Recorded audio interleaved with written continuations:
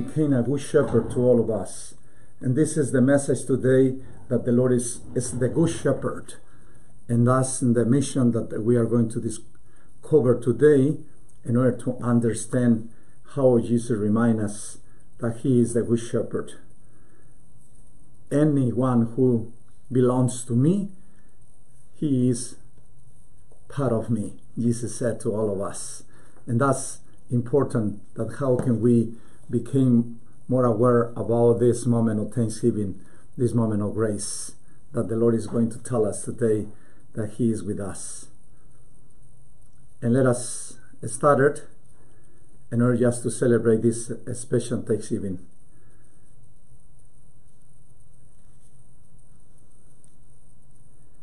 And Jesus said to all of us, I am the good shepherd. How can Jesus become a good shepherd to all of us? And this is uh, the exhortation today. Let us uh, start this moment of Thanksgiving with this beautiful message.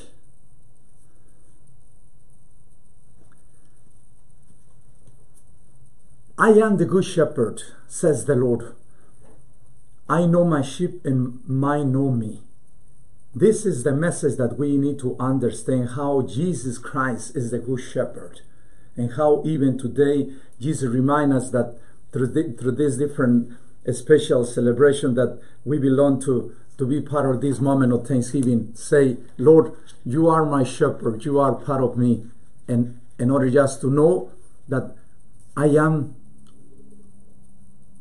the one the one who listened to you and we would like to follow your steps how can jesus become a good shepherd according to the St. Gregory of Great, the Pope, and his homily 14, Christ the Good Shepherd. He wrote this beautiful statement to all of us in order to keep it, this special um, blessing, and to be aware.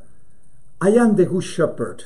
I know my, my own, by which I mean I love them, and my own know me in plain words, those who love me are willing to follow me, for anyone who does not love the truth has not yet come to know it. My dear brethren, you have heard the test we pastors have to undergo. Turn now to consider how these words of our Lord imply a test for yourselves also. Ask yourselves whether you belong to his flock. Wherever you know him, wherever the light of His truth shines in your minds. I assure you that is not by faith that you will come to know Him, but by love. No merely conviction, but by action. John the Evangelist is my authority for this statement. He tells us that anyone who claims to know God without keeping His commandment is a liar.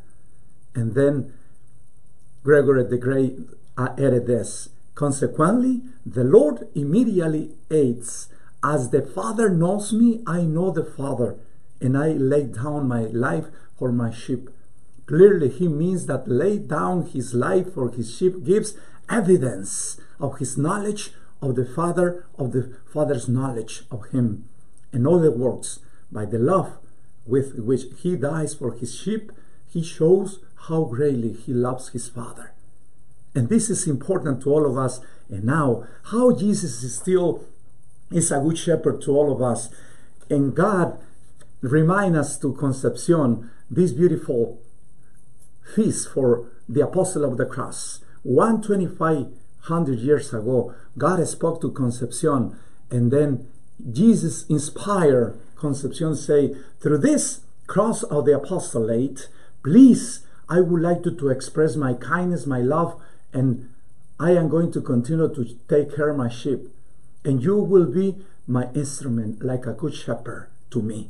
I am the good shepherd, and you can be a good shepherd to those people in this moment, and this time, and this era, and this experience, according to the spirituality of the cross. And let us, how God tell Concepcion, in order to be a good shepherd.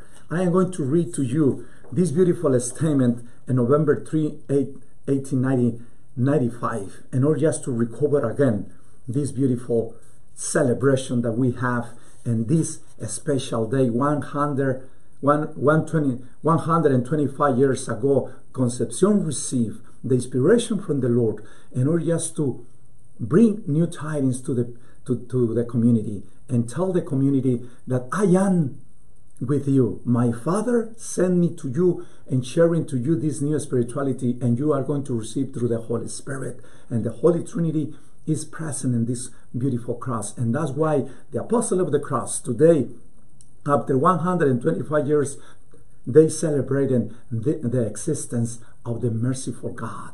And Concepcion wrote it this The cross is the building, the perfection. Therein are all the mysteries, the gifts, the fruits, and the Holy Spirit.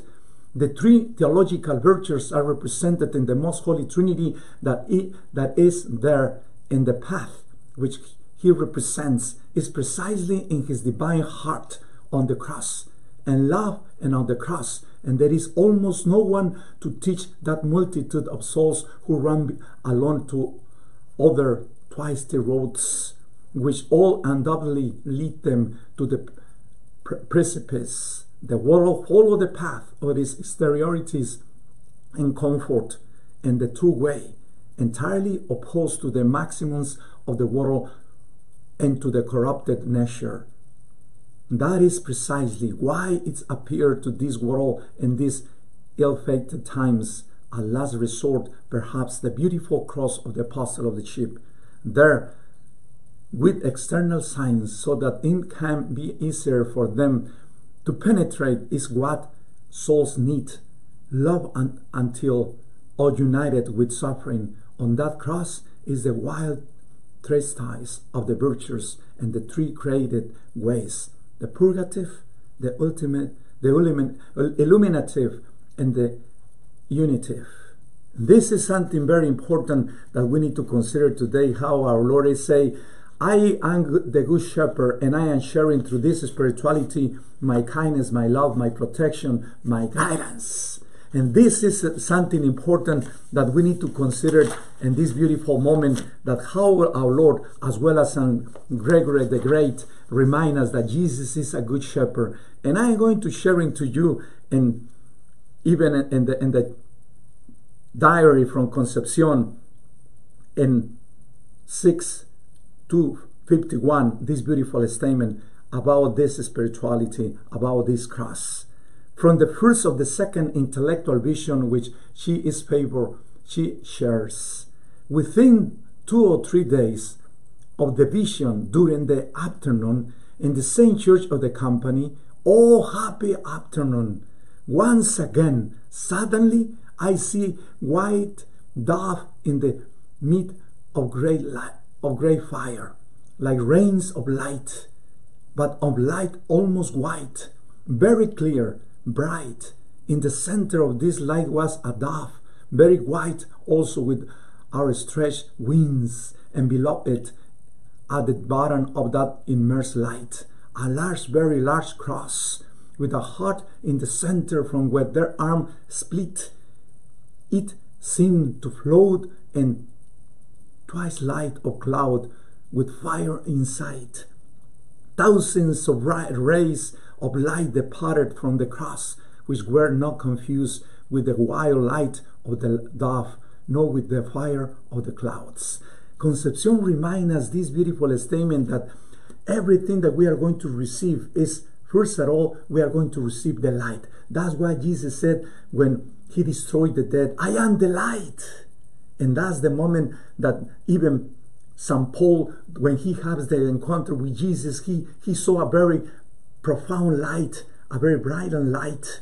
And then he saw Jesus as well as St. Faustina. St. Faustina reminds us that when she saw Jesus for the first time, it's a very profound light, as well as Concepcion said. And the moment that I saw this cross, first of all, it's a profound light, a plenty of rays, but it's a beautiful light. Invite me and open my mind, myself, my feelings, my emotion, my intellect, and I surrender myself to God.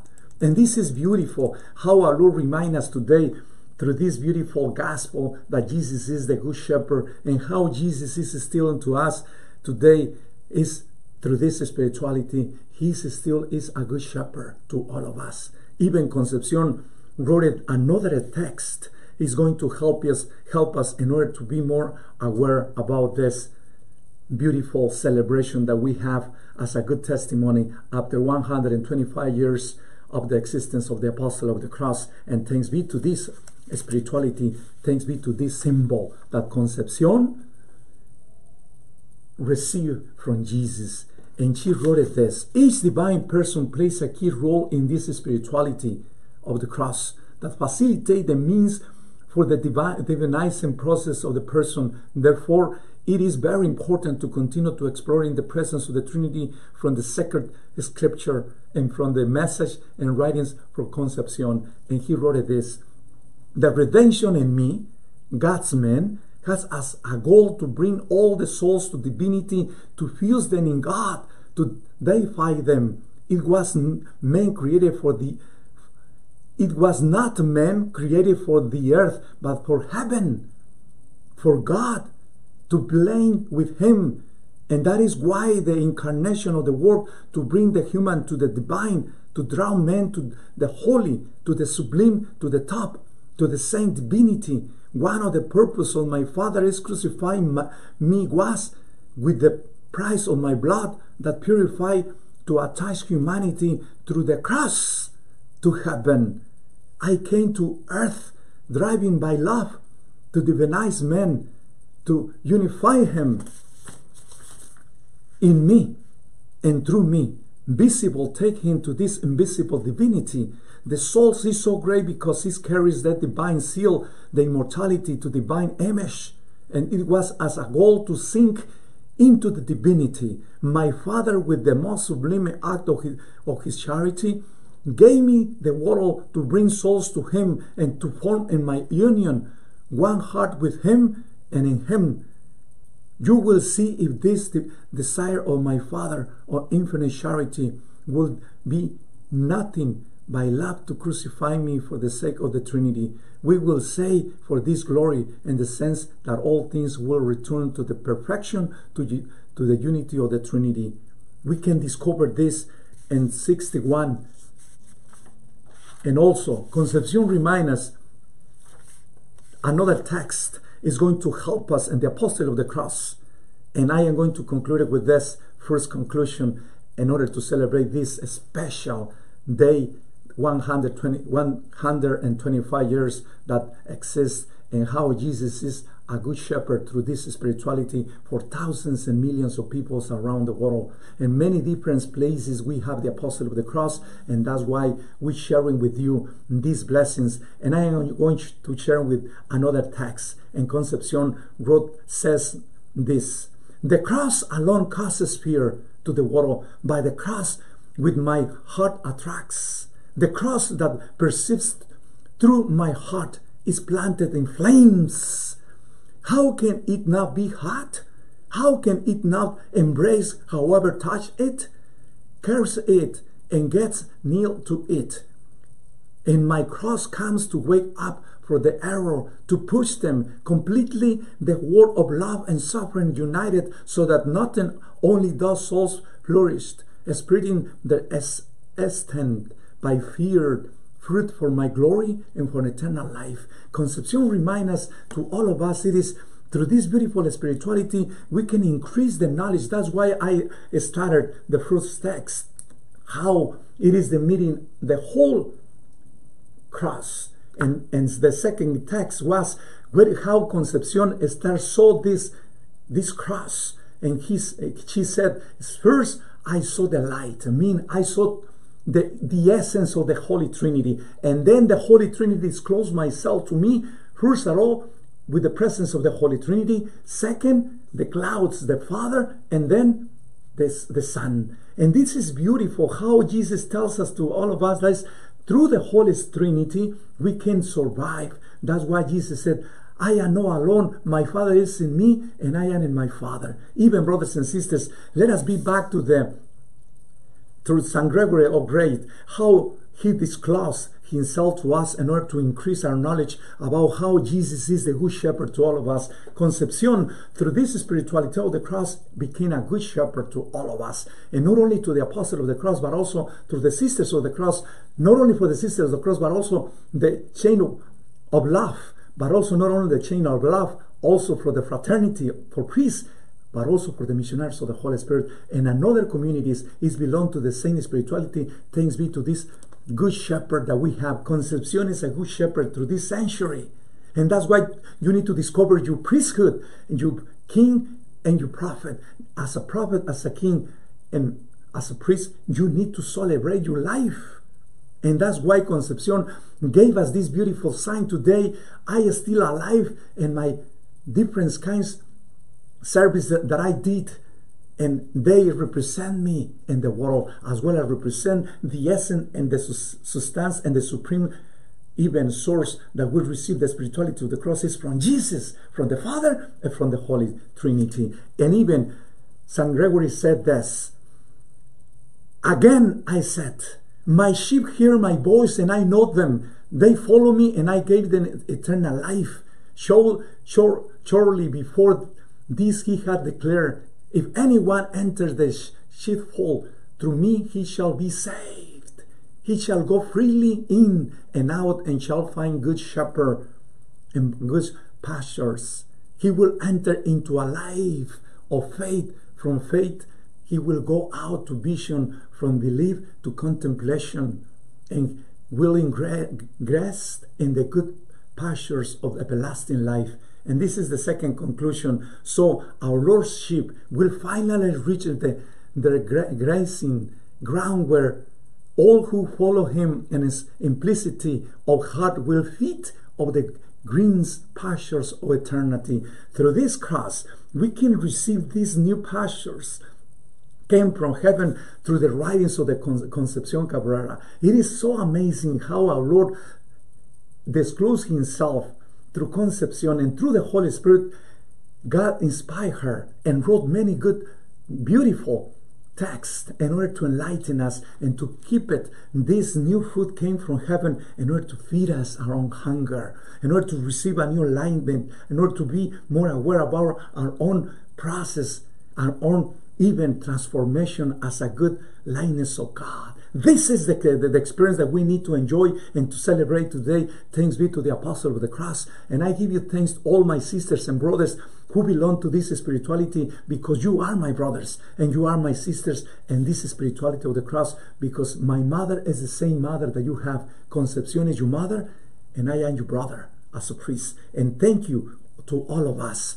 These pastures, said St. Gregory, are the spiritual joys of heaven there, the elect looks upon the face of God with unclouded vision of feast or the banquet of life for every forevermore.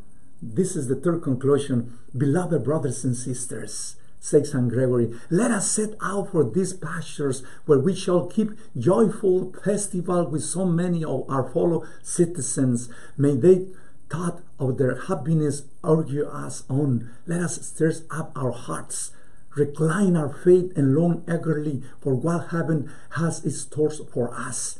To love thus is to be already on our way. No matter what obstacles we encounter, we must not allow them to turn us aside from the joy of that heavenly feast. Anyone who is determined to reach his destination is not deterred by the rushness of the road that leads to it, nor must be allowed the charm of success to succeed us, or we shall be like a foolish traveler who is so distracted by the pleasant mid walls through the through which he is he is passing that he forgets where he is going. Brothers and sisters, if we don't pay attention about this beautiful moment that we have thanks be to this pandemic. We are out. It, through this pandemic we don't use it as a new tool in order to even to go deeply in our souls in order to analyze how can enlighten myself. And god said to all of us i already give you this spirituality. You can go back to your history in order to make a reconciliation in order to increase yourself also to increase yourself with other people. And that's why i i inviting you constantly to say other people is going to help you as concepcion cabrera as san elizabeth and as well as san gregory the great or as well as san faustina. Thousands of people god is already send us in order just to receive a new pasture a new food a new even testimonies. Through those testimonies, we can feed us our own questions in order to increase our own relationship with the with the, cosmos, with the planet, as well as with the Holy Trinity. May God bless you and keep you, your body and your soul with pure, and be a good shepherd. And I am going to eh, conclude with this beautiful text from St. John 14, 15 said, The good shepherd who laid down his life for his sheep has raised from the dead for the sake of, of the flock, he willingly suffered death. And that's why Concepcion, a, a year ago, tomorrow will be a year ago, when God said, I called you, rise again to the whole church. You are a good shepherd. And through your spirituality of the cross, you became a good instrument to all of us. Rise, and you will be a good shepherd with me. And Concepcion became a year ago a new testimony that fulfilled that this beautiful text. God rise for the whole church, that she is really a good example to follow as a good mother and as a good spiritual mother. This lady help us to be aware of our our lives. Christ as a Passover has been sacrificed for the sake of the flock. He will need to suffer death.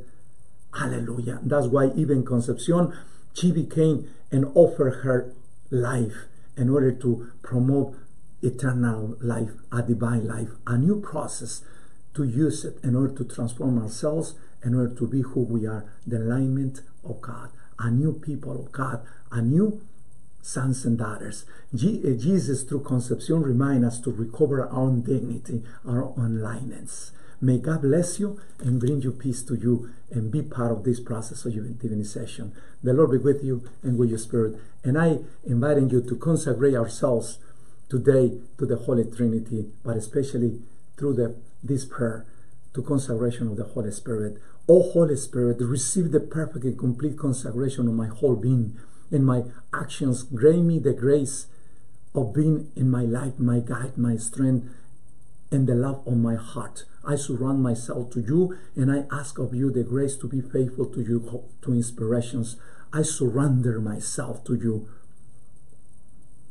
And I ask you the grace to be faithful to your inspirations. Holy Spirit, transform me through Mary and with Mary into image and true image of Christ Jesus for the glory of the Father and the salvation of the world. Concepcion reminds us you surrender yourself to God, God is going through you, bring you a new, a new food to other people.